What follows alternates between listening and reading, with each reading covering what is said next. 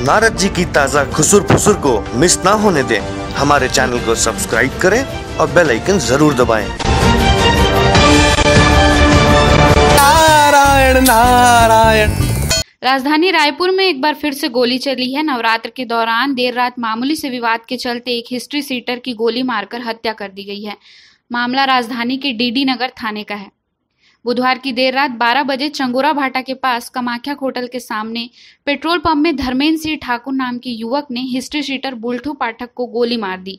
किसी बात को लेकर दोनों के बीच पेट्रोल पंप में विवाद हुआ था।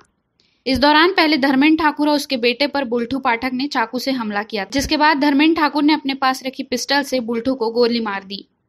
गोली मारने के बाद आरोपी ने खुद दीदी नगर थाने में जाकर इसकी रिपोर्ट दर्ज कराई।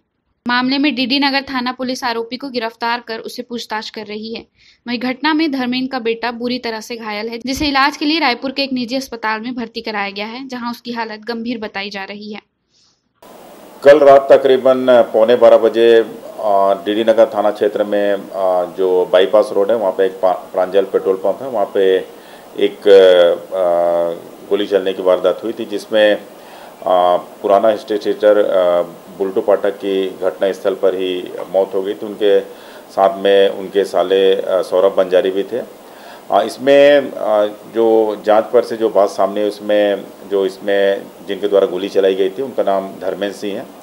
जिनका कि मीडिया डिस्ट्रीब्यूशन का काम है और अपने बेटे के साथ अपनी प्राइवेट ब्रेजा कार में कहीं जा रहे थे और इसमें इनका लाइट को लेकर कुछ विवाद हुआ आपस में और इसके बाद बुल्टू पाठक और सौरभ बंजारी लोग दोनों ने आके इनके साथ, इनके बेटे के साथ मारपीट चालू कर दिया और साथ ही चाकू भी निकाल लिया।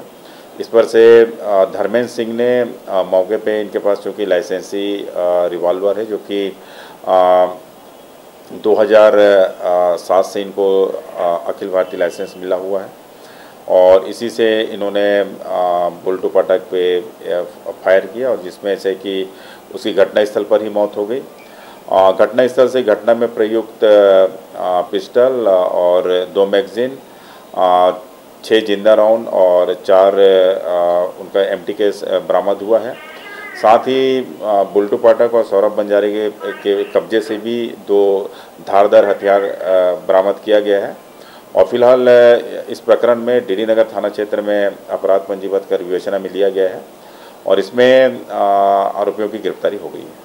खबरची न्यूज़ के लिए कैमरामैन राकेश यादव के साथ ममता मानकर की रिपोर्ट।